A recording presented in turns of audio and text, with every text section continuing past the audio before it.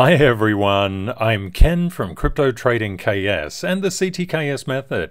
In this video, we're going to go through the latest news and then we're going to go through an analysis of the charts, figuring out which one is better. Is it better to get into Sol, ETH, or Bitcoin? Let's find out by Let's Run the Numbers.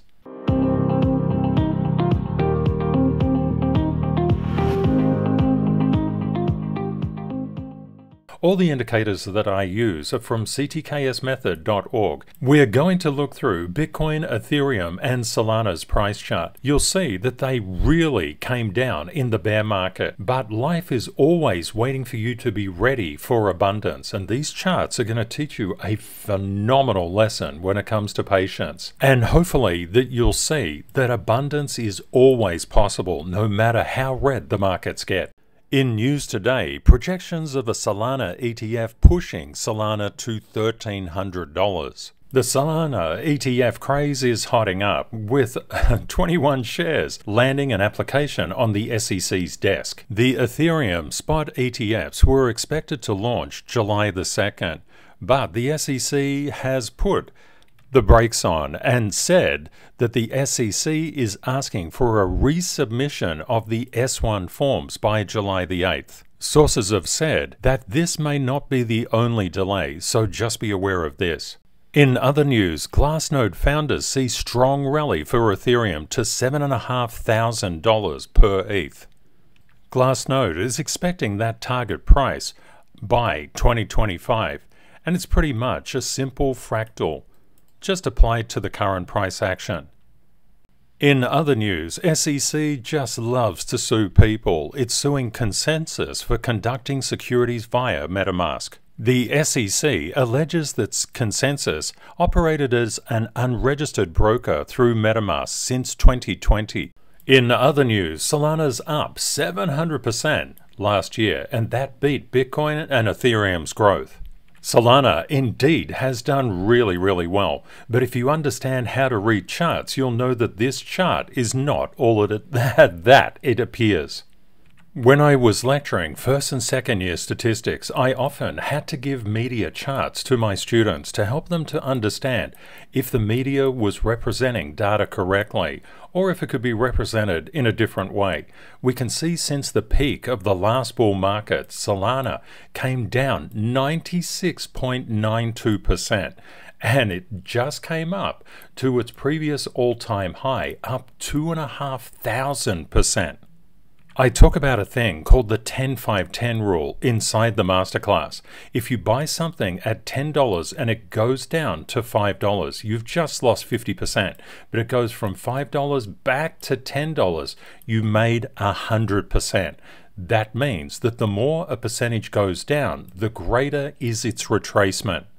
Some of the things to understand with Solana, we had Sam Bankman not freed, and all of the things that happened with FTX. And then, of course, the SEC came in and said Solana is an unregistered security and proceeded to hammer Solana.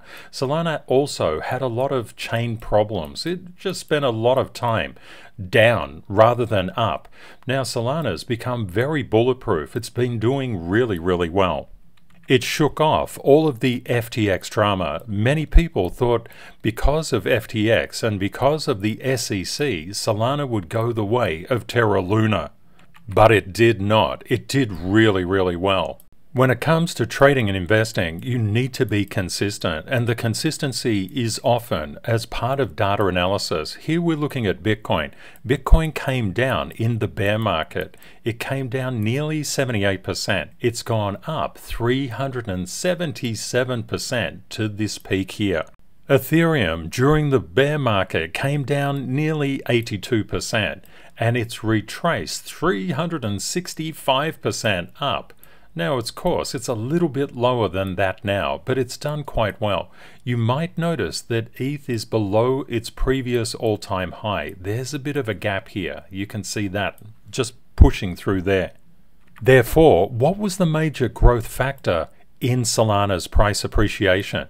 It was really the decrease in price, coming down nearly 97%. And all of those associated FTX and SEC actions. Of course, Bitcoin and ETH had SEC actions, but they were the first and second largest cryptocurrencies. Therefore, by market capitalization, they came down less than what Solana did. There's a really good lesson that comes out of Solana's price chart.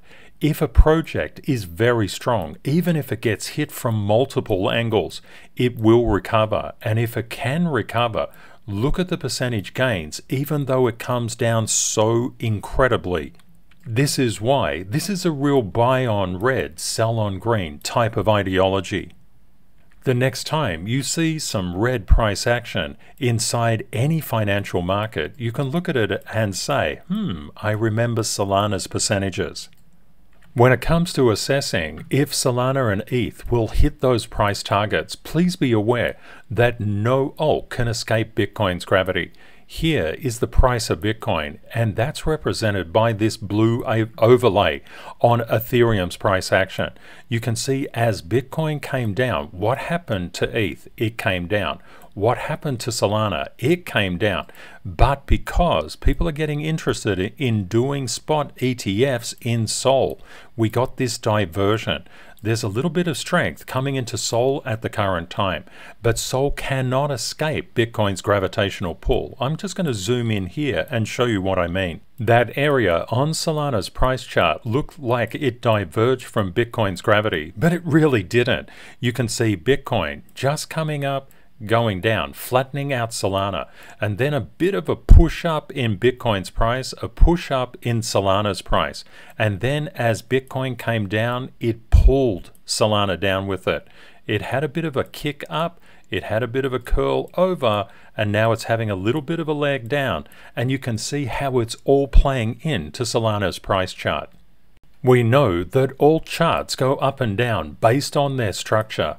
And structure is always all of price history, not just recent indicative price. When we look at Bitcoin, Bitcoin has structural levels. When we look at Solana, Solana has structural levels.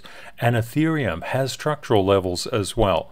All of the tier one charts are the predominant thing that moves all of the interdependent structures across all charts. And if you've been doing your cheat sheets, you've been noticing some really interesting things have been happening with the yields. There are some key events that are coming up very soon. The spot ETFs, we know they've been delayed, but the Mt. Gox repayments in Bitcoin and Bitcoin Cash, they're on. Also, the French presidential election.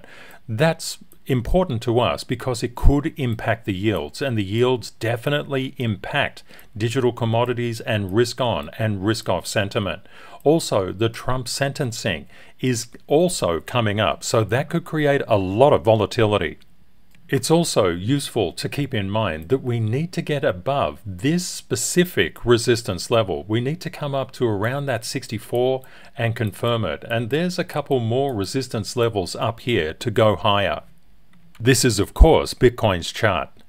Just keep in mind one thing the SEC dropped the Ethereum lawsuit, and that paved the way for the ETH spot ETFs to come out and to trade. When the new month clicks over, the institutions want the lowest price for ETH that they can get because they want to say, look how this thing has performed over time.